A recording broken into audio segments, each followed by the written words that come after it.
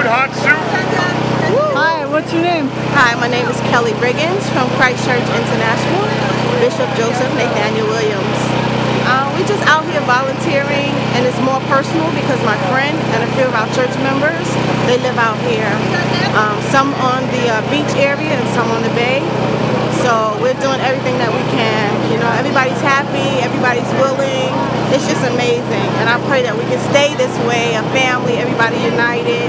Um, we saw some of the devastation um, down the street. It's just, I'm an advocate for global warming, but we just have to stick together in spite of. Yeah, you were telling me your friend uh, got some help from FEMA. I'm curious to hear more about that. Yeah, um, she called right away. I do want to say that people did not call FEMA right away. You have to call right away. Um, she got, I guess, a voucher or she got her number.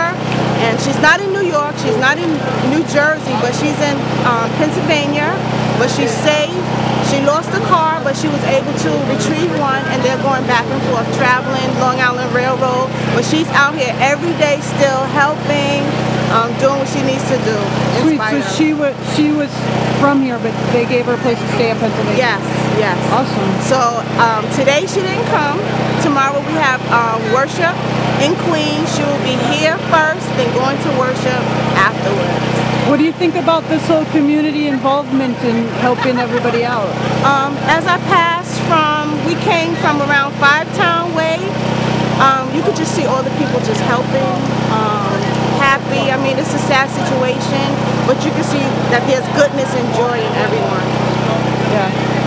Thanks so much. Thank you. Okay.